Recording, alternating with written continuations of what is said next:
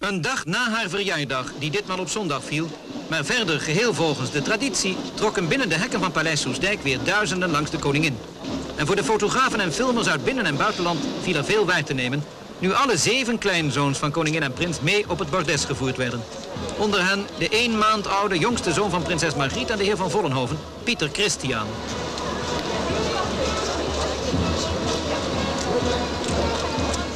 De koningin moest ditmaal de aandacht van de bezoekers delen met haar kleinzoons.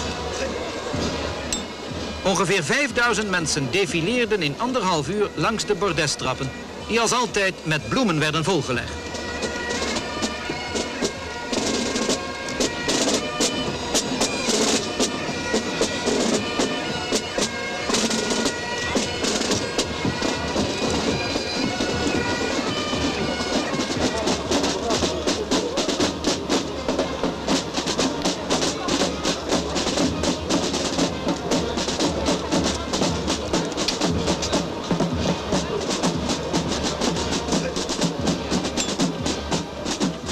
Tot de groepen die de jarige vorstin een geschenk kwamen aanbieden, behoorden deze fraai uitgedoste kotomissies uit Suriname.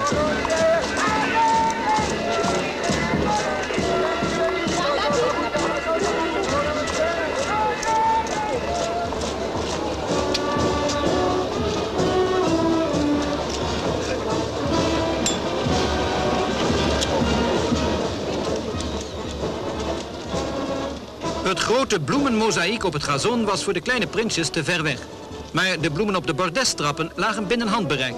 En daarmee amuseerden ze zichzelf, hun ouders en grootouders en de hele defilerende verjaarsvisite.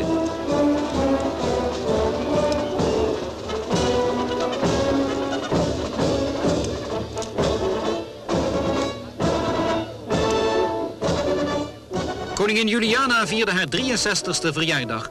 En eens te meer stond zij daarbij als grootmoeder in het middelpunt der belangstelling.